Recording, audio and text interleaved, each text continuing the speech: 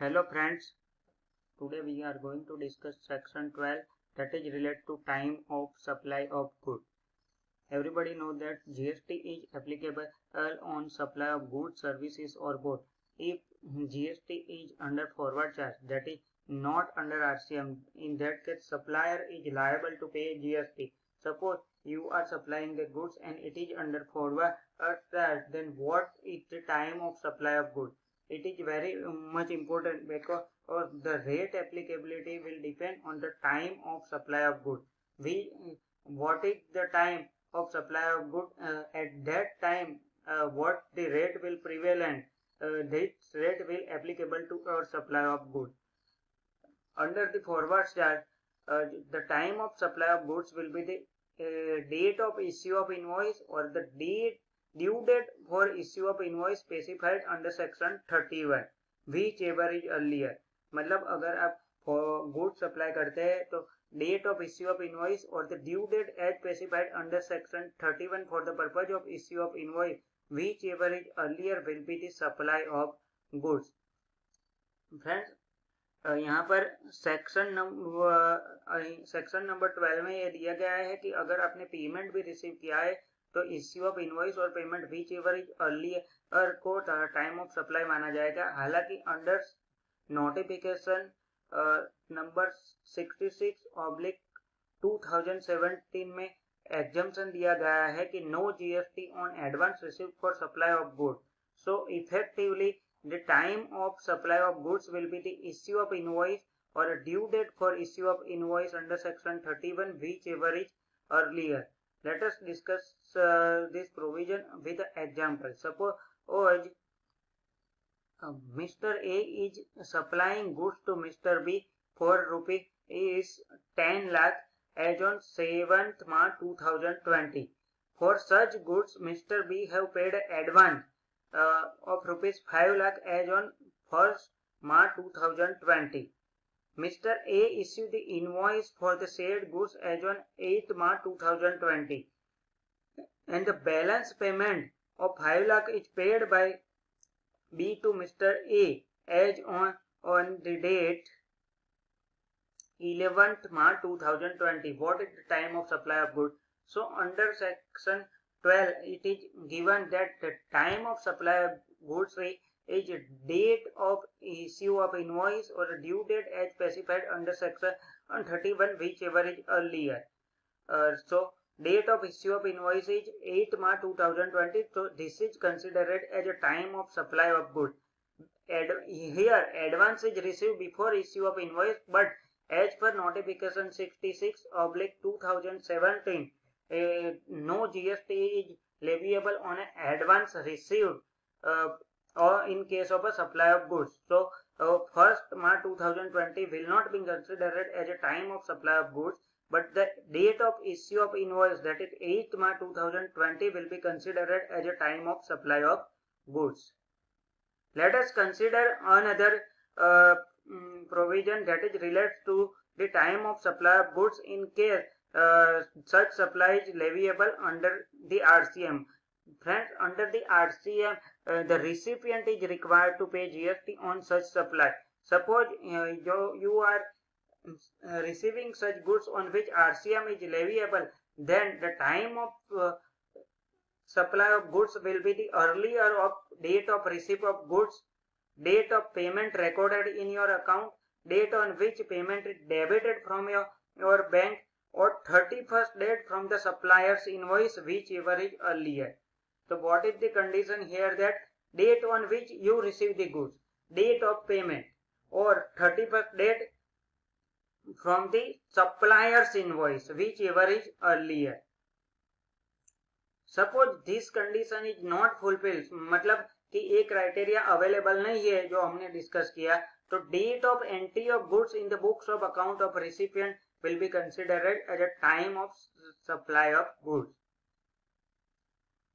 Suppose Mr. X is supplying the goods to Mr. Y on which RCM is applicable. The said supply is made as on 15th March 2020 by Mr. X. However, the goods received by Mr. Y is on the date that is 25th March 2020. Remember our first criteria is goods received by recipient that is as on the date 21st 25th March 2020. Date of payment will be the 31st March 2020 that is payment done by Y as on 31st March. So what is the criteria? The criteria is uh, receipt of goods or payment date of payment or date of uh, 31st days from the date of issue of invoice whichever is earlier. तो invoice यहाँ पे 16 तीन 2020 को issue हुआ है तो 31st day from the date of invoice of supplier is 16th April 2020. So here you have to remember three dates and whichever is earlier will be the sub, mm, time of supply of goods. The date of 31st date from the in date of invoice that is 16th April. Date of receipt by goods 25th March and date of payment 31st March. So time of supply of goods is 25th March 2020. So under the RCM, the time of supply of goods is actual receipt of goods or payment, date of payment or the 31st date uh, from the date of issue of invoice by the supplier whichever is earlier. In case you are not eligible or this event is not possible to identify then date on which the uh, goods are recorded in the books of uh, recipient's account will be considered as a time of supply of goods. In a certain business criteria, you uh, businesses or companies are issuing the voucher. In case of such voucher, what is um, the time of supply of such good? If supply is identifiable, then date of issue of voucher will be considered as a time of supply. If supply is not identifiable, then the date of redemption of a voucher will be considered as a time of supply. Let us consider it with the example. Suppose company X gives a food coupon to their employee which can be retrievable at the food outlet. Here uh, supply is not identifiable. मतलब कि employ को कब वो food coupon को use करना है वो दिया गया नहीं है So point of supply is not identifiable. So the time of supply of voucher is the date on which employee redeems such voucher. Example number 4. Pizza Hut is giving rupees 20 voucher which can be redeemable before 5th April. What is the time of supply of goods? Here uh, the uh, time limit is given that is it is redeemable before 5th April. So the supply point is identifiable. So the date of issue of voucher will be considered as a time of supply of goods.